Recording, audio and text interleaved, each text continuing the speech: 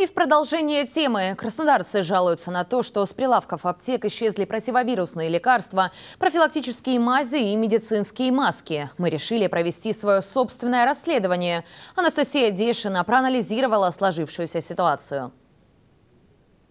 Маску с собой вожу. Я с периферии. Это Приморско-Остатский район. Тамифлю в розницу не торгуют, склады пустые. Как сказала родственница из инфекционки, его поставляют только в лечебные учреждения, остальные обойдутся. Оксалиновую мазь не найдешь. В нескольких аптеках вчера спрашивала. Нет в наличии. В аптеках нет масок, рематодина, мази оксалиновой. Прям дефицит какой-то. Что говорит о том, что в случае ЧС люди просто помрут от того, что нет просто лекарств. Еще более ста подобных комментариев. Грипп и нехватка лекарств в краснодарских аптеках – самые обсуждаемые темы на протяжении последних недель. Во всемирной паутине начинается настоящая паника, которую усугубляет отсутствие некоторых препаратов. После всех этих разговоров в социальных сетях мы решили сами проверить, действительно ли сейчас проблематично купить лекарства от гриппа. Начали с ЖК «Московский». Темифлю или как-то? Да. Нету, нету, даже, даже близко нет.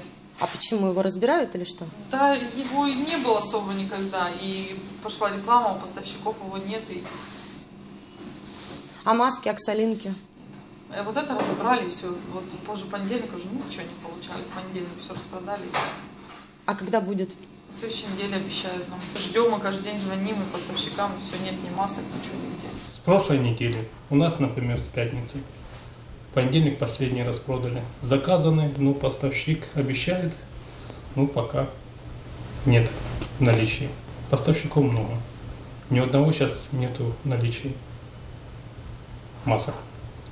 Ни детских, ни взрослых. Детские, ну, вчера последний раз продал. Был запас. Да мы заказываем каждый день. Вот стараемся хоть где-то, хоть что-то. Вот у кого там, кто нам выделит из поставщиков.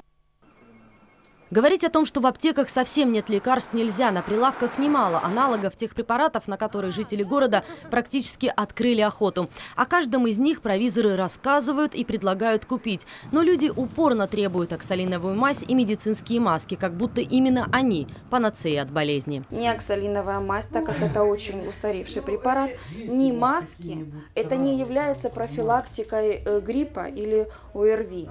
Во-первых, маски нужно менять каждые два часа. Этого не делает никто. Люди покупают одну маску и ходят в ней целый день. Это неправильно. А, аптеки города обеспечены лекарственными препаратами, которые можно пить с целью профилактики. За разъяснением мы попытались обратиться к экспертам. Специалисты управления муниципальных аптек сейчас очень заняты. Они ищут возможность восполнить дефицит, поэтому встретиться с нами не смогли. Но уверили, что все необходимые препараты в ассортименте есть, а то, чего пока нет, доставят в ближайшее время. Поставка препаратов а, связана с логистической цепочкой.